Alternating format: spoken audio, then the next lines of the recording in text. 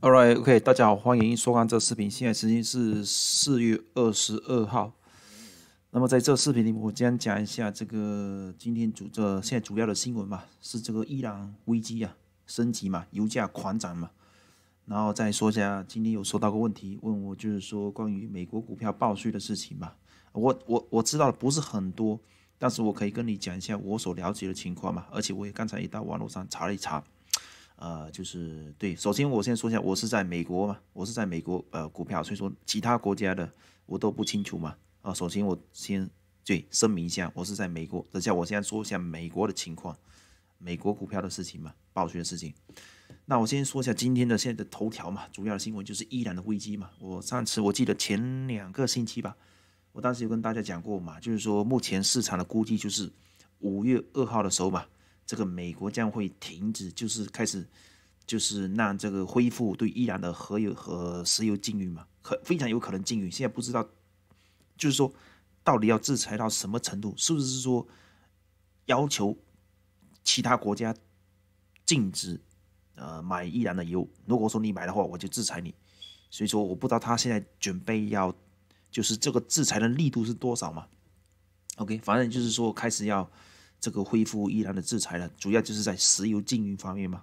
但是至于什么程度，现在还没有个具体说法。大概是明天，我他新闻是说明天吧，就是大概是星期一的时间，他就会政府就是正式的宣布的这个制裁的具体的事项吧。OK，我两个星期以前有讲过，你现在可以看到那个油价的上涨啊，在这个地方一直狂涨，一直往上涨，已经在六十五块四毛八了，现在一直向上涨，从来没停过。啊，就是大家如果有看我之前的前两个星期的视频，应该还有印象吧？就这个试验是在我很久以前，这个很久以前画的，这个速度在不断上升，所以说我估计下周的，呃，这个跟石油有关的股票吧，应该也会有反应出来，应该也有会上涨。OK，呃，就是这个情况嘛。所以说我自己手上也有一个跟石油有关的股票嘛。OK，我我指的是短线。短线那个 Robinhood 的那个操作方面，还有一个呃石油的股票。那你先看看大盘，大盘的话，现在是 S M P 五百是在这里嘛？这个大家看到没有？市场已经有所反应了，开始有所弹跳在这里的地方嘛？关键的价位在这里了，这个价位已经在四月呃差不多四月一号就已经开始形成了，所以说现在这个地方开始有一定的那个 support 正在有所反应。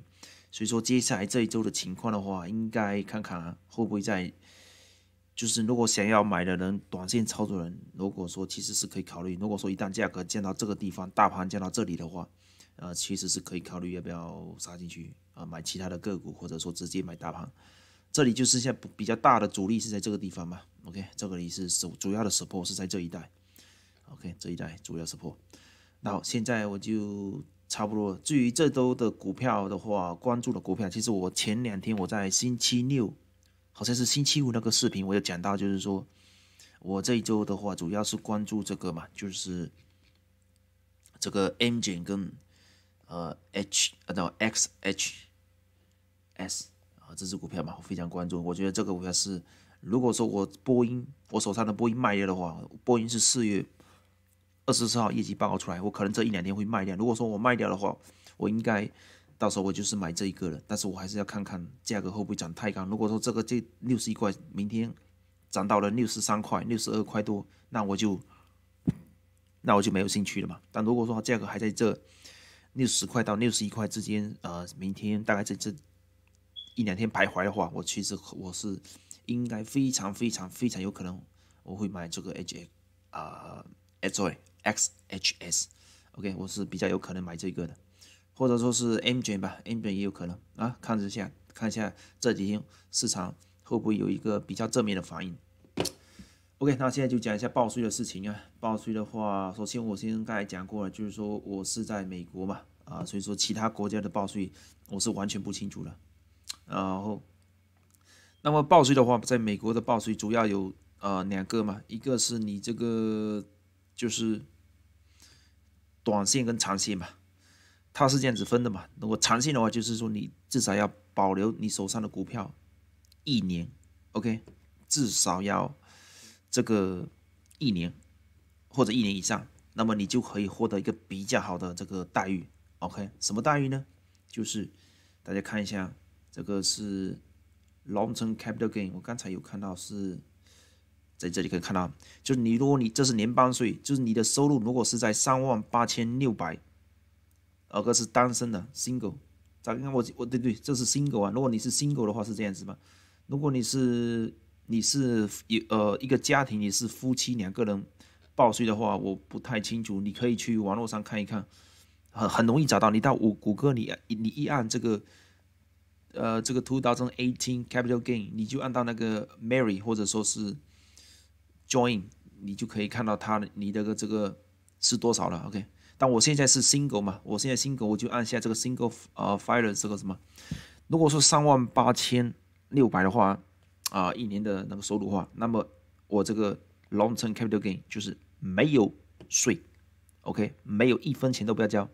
也就是如果说我买的股票，我我坚持一年啊，我是长线投资嘛，比如说一年我卖掉，一分钱都不要交。那么如果你是三万六千，啊，三万六千六百零一块到四十二万多。那么你也只要交百分之十五的税，这其实也是非常低的。当然，你四十二万多以上的话，你就是要交百分之二十。我要跟大家说一下，就是说，其实税的话，美国是这样子嘛，就是如果你交百分之二十啊，并不是说你要把你所有的那个前面的东西都是百分之二十。这个百分之二十指的是你你的收入从四十二万五千八百以上开始。到四十万到五五十万七百一百万两百万那一个那一个段你是交百分之二十，至于你之前那个四十二万跟那个三万八千在这一代啊，这一代都是交百分之十五嘛。美国这个叫什么 marginal tax，它 OK，我跟大家说一下是有区别的。OK，那那么 OK，那么你我如果你是短线操作的话，那不好意思。那你就是按正常的交税了，就是你就是你平时上班工作的收入嘛，他就把你当成正常正常的收入了。那么税是在这里嘛？看到没有？单身，这是单身，这是 Mary，呃，这是 Mary Sebry，Sebry，这个是 head of house House，啊，你可以看到这里的区别嘛，是吧？那你比如说，哎，呃，这里是区别嘛？这个你比如说，他我再说一次，就是他美国的税是这样子嘛？你这一段收入。从九千多到三万七这一段你是交百分之五十，你三万七千多到九万多这一段你你是这一段收入你是交百分之二十五，OK，然后这一段是交百分之二十八，OK，并不是说，我打个比方，比如说你是赚九万多是吧？九万一千多，你并不需要，那你不那那个税你并不是说你要交你你九万一千块你要交百分之二十的九万一千多，不是这样子啊。你这个百，sorry，二十五万，你这个百分之二十五的税啊，只是交你从三万七千多开始到九万多这一代这一代啊。至于你三万七千多，从九千多到三千七，呃，sorry，九千多到三万七千多这一段，你是交百分之十五。所以说百分之，比如像这里啊，你九万多到十九万这一段的的税是交百分之二十八，OK。啊，它是分开的，分开的，分开的，我不知道我有没有讲的很清楚吧？啊，就是这样子的啊。然后呢，我在这个是就是短线操作啊，就是你如果股票一年以内你都是交这个税，呃，高不高？我觉得也算高，也算不高吧。这就是就就这就像我们平时工作的收入嘛，就是就是这样子的。我觉得我也不是觉得很高，我觉得还算 OK 吧。我觉得。就就是当做就是短线操作，你就当做是正常的那个收入吧，就这样想就想清楚了。但是如果你是长线投资的话，那好处很多。其实我其实我确实挺挺推荐玩长线投资的，因为很多人都是玩短线嘛。其实长线有很多优点嘛，这这现在就是其中一个优点，就是你的税啊，要要少，要比那些呃就是短线操作人，你的税要少交很多很多，知道吗？你看到没有？啊，三万八千多的收入以内，一分钱都不要交。OK，你所有的股票赚的钱，一分钱都不要交。OK，如果你是长线，对吧？是不是？而且到了四十多万这这一段呢，三万八你也只要交百分之十五。然后呢，我最后再说一下这个股息的那个，嗯，这个税吧。股息的税有两种啊，一种它叫哦，大家看一下，这个叫 ordinary dividend，另外一个是 qualified dividend。如果你是 qualified dividend 呢，那你的税就好多了。大家看看，如果你是 qualified dividend 啊，那么你这一段啊，大家看到没有？跟刚才那个长线投资的股票很像，也就是三万八千以下，你的股息是一分钱都不要交的，一分钱都不要交。然后呢，你这个除非你是上面这一段嘛，那开始交了吗？看到没有？这个图表你都可以去谷歌上面查，很容易查得到。那好，什么叫做 qualify 呢？什么叫做 ordinary 呃呃这个 dividend 呢？OK，我跟大家说一下，他这里有讲到，就是在我们美国其他主要的公司，其实一般的那个，嗯，我看一下，对，等下，打个比方吧，其实我们现在手上买的绝大多数股票，呃，在美国上市的公司嘛，美国的公司都基本上都是 qualify 的 dividend 嘛，就是那种比较好的那个税嘛。啊，我打个比方，比如说你是买 Comcast，Comcast 就是那个它的股股息是属于 qualified 的，比如说 CVS 啊，或者说迪士尼、苹果、AT&T 啊，或者说是 ExxonMobil 对吧？或者说是嗯，你基本上能想到的，或者 IBM 这些主要的公司，他们美国企业都是 qualified dividend。OK，这些 dividend 都股息都挺好的。OK，那么什么叫 ordinary dividend 呢？打个比方。就是很典型的例子啊，就是这个瑞，这个瑞就是那个就是房投资房地产，这些公司都是房地产里面的那些嗯公司嘛，他们是投资房地产，这些公司的话，那那么他们这些那个啊这个税就比较高了，OK，他们就是把这些股息呢，就是我们平时正常的收入了，所以说大家要有意识到，就是说嗯。打个比方吧，像这个公司也是嘛，WP，WP 这个公司，像这些公司，他们有很多这里面啊，这些凡是这个 RE 啊这种东西啊，就是投资房地产这种东西那个基金嘛，他们很多都是就是把你当成那个正常的那个收入来来付付那个呃这个股息嘛收收入吧，对吧？所以说有一点要记住，就是比如说看这些很多公司，他们房地产公司嘛，他们看起来呀，你看到没有，E 股息啊都很高是吧？